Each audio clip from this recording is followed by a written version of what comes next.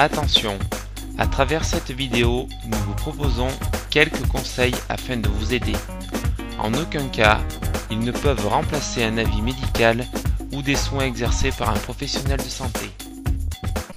Bonjour à tous et bienvenue au magazine de Talucine. Aujourd'hui, je vais vous parler de la prévention des blessures. Et oui, effectivement, rien de tel pour éviter de se faire mal que de s'y préparer. Donc concrètement, si vous voulez éviter les blessures, il faut d'abord connaître le mécanisme de la blessure et surtout quels exercices on pourra faire pour l'éviter.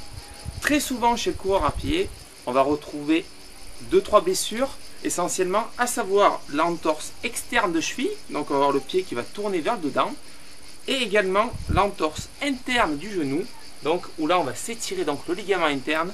On peut aussi parfois retrouver euh, une lésion décroisée, où là il va falloir donc qu'on évite le tiroir du tibia vers l'avant par rapport au fémur.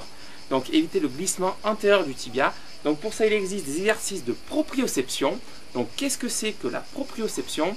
En fait on va travailler la capacité d'adaptation du corps à une information donnée. Le but du jeu ça devait être de progressivement aller vers donc le mécanisme de lésion et le corps lui devra contrebalancer donc pour éviter euh, que le seuil de la lésion soit dépassé et donc la blessure arrive. Concrètement, au niveau de la proprioception, il existe tout un protocole, si vous voulez, de progression. Donc ce qui est important, c'est de toujours travailler pieds nus, dans un premier temps, avant d'après travailler avec vos chaussures propres à la course. Donc vous allez voir que suivant les chaussures, vos appuis vont être aussi un petit peu modifiés.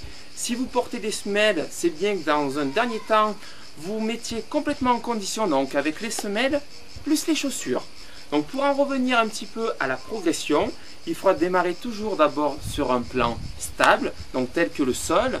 Vous allez ensuite passer vers un plan instable, comme par exemple un petit matelas, une mousse, ou comme des plateaux qui sont ici, qu'on appelle les plateaux de Freeman.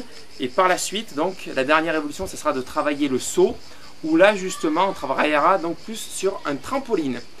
Ensuite, on va travailler dans un premier temps les yeux ouverts, puis les yeux fermés. Vous allez voir que ça va complètement modifier vos appuis.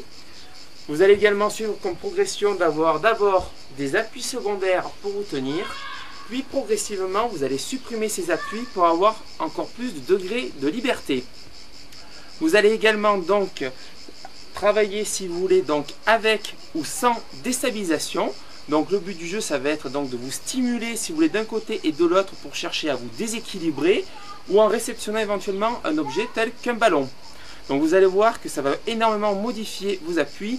Le but du jeu est en fait de vous concentrer donc sur une autre action et que votre articulation, elle, se détache donc du cerveau pour qu'on arrive à faire, si vous voulez, deux actions en même temps. L'exemple type, c'est que si jamais vous voulez vous ravitailler à un endroit qui peut être un petit peu technique parce que vous savez que vous avez un effort violent juste après, donc il faut être capable que le cerveau euh, soit présent pour vous alimenter tout en même temps que justement vos appuis soient fermes pour éviter l'entorse.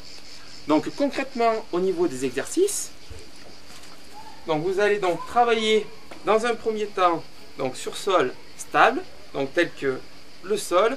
Donc pour ça, l'idéal au début c'est de commencer donc à l'intérieur où là vraiment sur le carrelage c'est ce qui va être le plus ferme.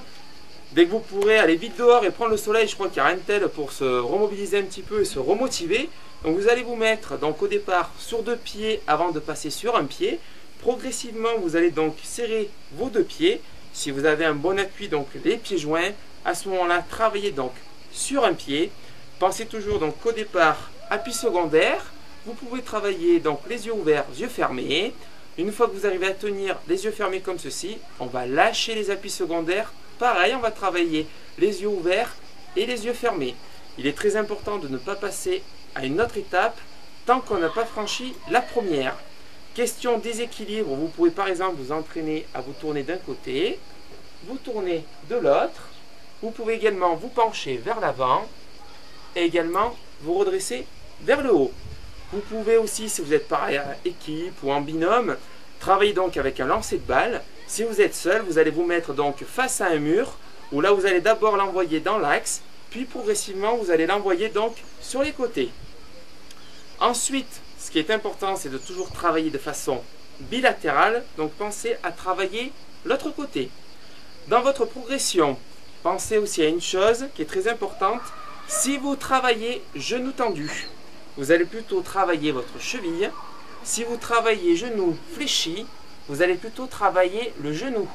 Donc, si c'est à titre préventif, pensez à travailler donc dans les deux positions. Si jamais vous êtes fait une entorse de cheville, à ce moment-là, travaillez plutôt genou tendu. Insistez plus sur ce type d'exercice. Si c'est une entorse de genou, insistez plus sur le genou fléchi. Question plateau, c'est très simple. Ils sont de deux types. Vous avez donc avec une boule et vous avez un plateau donc avec un demi-cylindre où là vous allez donc avoir un plateau unidirectionnel. Donc dans un premier temps, vous allez plutôt travailler donc devant, derrière, donc comme ceci, où là donc en fait au début on va essayer de travailler sur deux pieds en se mettant au milieu. Si jamais vous n'y arrivez pas trop, donc pensez aux appuis secondaires. Si jamais vous appuyez devant ou derrière, ce n'est pas grave. Le but du jeu étant de revenir le plus rapidement possible à votre point d'équilibre. Lorsque vous arrivez à tenir à deux pieds en vous lâchant comme ceci, pensez après donc à retravailler sur un pied, comme ceci. Donc si vous basculez vers l'avant, pareil, vous revenez toujours le plus rapidement possible sur votre point d'équilibre et essayez de le maintenir. Pensez bien à faire toujours les deux côtés, très important. Progressivement, toujours pareil, les déstabilisations d'un côté et de l'autre, en bas et en haut. Si vous voulez travailler le genou, on rajoute de la flexion et à ce moment-là, on reprend le même type d'exercice et la même démarche. Après, libre à vous de faire marcher un petit peu votre imagination. Ensuite, vous pouvez donc le mettre sur le côté. Si vous trouvez qu'il y a un petit peu trop de jeu, surtout au début dans une entorse de cheville, vous allez voir que là on va aller vraiment donc dans le sens de la lésion de l'entorse. Donc justement, vous pouvez vous caler un petit peu avec des petits sacs de sable pour éviter donc une amplitude trop importante. Donc au début, on commence à deux pieds. Donc s'il faut appui secondaire, on essaie de se stabiliser, essayez de trouver votre équilibre. Une fois qu'on y est, on essaie de le maintenir le plus longtemps possible, yeux ouverts, yeux fermés, en se tenant sans se tenir. Toujours pareil avec les déstabilisations. Si on veut travailler les genoux, on fléchit. Au passage, pour le ski, pensez à bien bosser vos genoux donc s'il y a des amis euh, skieurs et coureurs, avant l'entrée de l'hiver, pensez à faire un petit peu de proprio au niveau du genou, ça vous fera un grand grand bien. Après donc on va travailler sur un pied, donc en se mettant au milieu du plateau, et on va reprendre la même démarche. Donc yeux ouverts, yeux fermés, en se tenant sans se tenir, pareil avec les déstabilisations ou la petite balle, également genou fléchi. Pensez à faire également des deux côtés.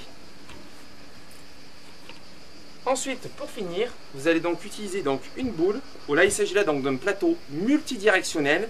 Donc ça va être la dernière étape si vous voulez sur plateau, où là justement on va bouger dans tous les sens. Donc au début, amusez-vous à tenir donc sur deux pieds. Essayez de trouver votre équilibre. Toujours pareil, si jamais vous touchez l'arête, ce n'est pas grave. Hop, on renvoie, on se met rapidement au milieu, au niveau de son point d'équilibre. Lorsque vous arrivez à tenir, yeux ouverts, yeux fermés, avec la même progression, idem sur un pied. Donc aujourd'hui, je vous ai montré essentiellement le côté droit. Pensez que dans l'évolution donc de la proprioception, vous allez ensuite donc travailler le saut, donc sur trampoline. On essaiera de vous le montrer à travers un autre reportage. Et puis, je pense que le plus important après, donc, c'est de retravailler tous vos appuis, bien sûr, avec vos chaussures et éventuellement vos semelles pour vous remettre dans les conditions course type et surtout travailler vos appuis après sur les parcours où là vous allez pouvoir donc travailler avec du dévers, montée, descente également suivant les différents types de densité de terrain aussi des sols souples ou des sols durs méfiez-vous ça va également pas mal perturber vos appuis. Donc essayez de bien travailler euh, euh, toutes ces modalités là quant à moi je vous donne rendez-vous lors de notre prochaine émission. Alors place au travail et à bientôt et je l'espère sans blessure. Vous avez des questions? Vous souhaitez échanger ou poursuivre le débat? Nous vous donnons rendez-vous sur notre forum. Pour cela, c'est très simple.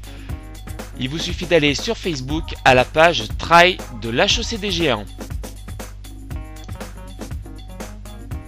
Si vous souhaitez plus d'informations, voire d'autres conseils santé, nous vous invitons à consulter notre rubrique santé sur notre site internet l'hecdgéants.com. Et retenez bien qu'il n'existe aucune recette miracle, sinon elle serait communément admise. Il est primordial de cibler sa rééducation en fonction de ses faiblesses et de ses besoins. Partant de là, à vous de trouver le programme qui vous correspond.